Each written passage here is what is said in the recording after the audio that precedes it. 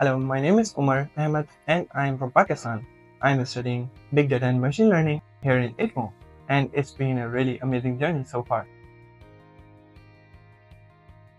For me, ITMO is not just a university, it's a place where people thrive and grow. Studying Big Data and Machine Learning here in ITMO is really rewarding while challenging. I chose this program because uh, the professors are here are really supportive and uh, it uses cutting edge technologies so I really love to study this program.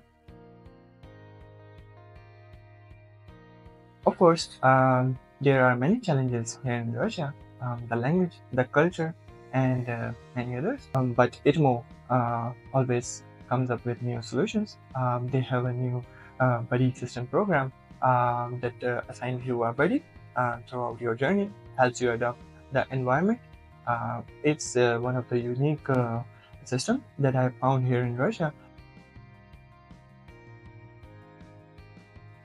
Yes, it's true. I also believe that uh, university life is not just about studies, uh, it's about extracurricular activities. I take, took part in multiple activities and I used to visit multiple museums and places in the in St. Petersburg.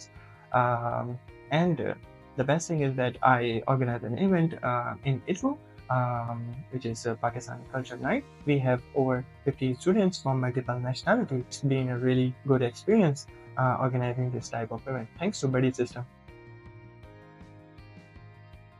If I could describe my uh, life here in ITMO in three words, it's just innovation, life changing, and friends. That's all.